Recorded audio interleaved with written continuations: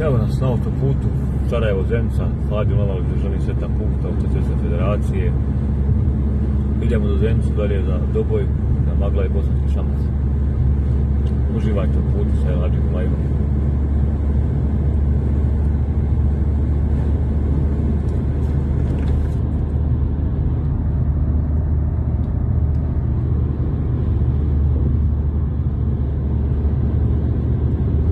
Vidite razliku koliko je napisano vrsta Golf 5 i Ford Fiesta 5.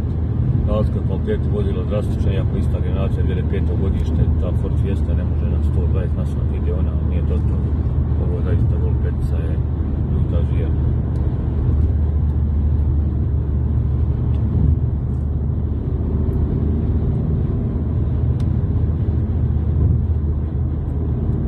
Idemo obijati autobusom.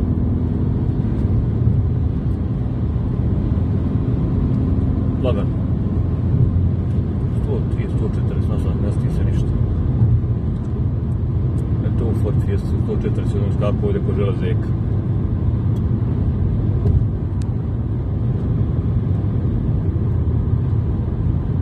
Ovo predjel srednje poslije pogledati kako to.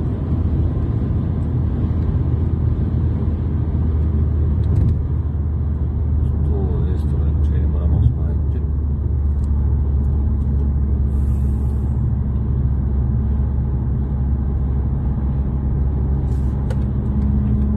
Idemo opet u lijevu traku.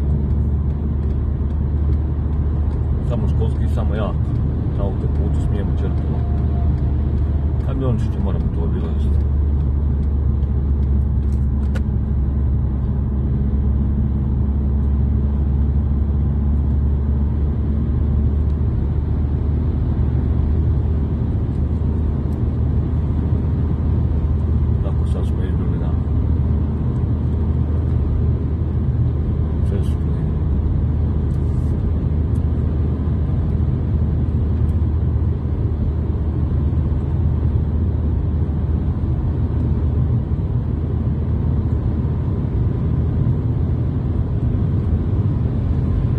Op, op, op, op, op, ode.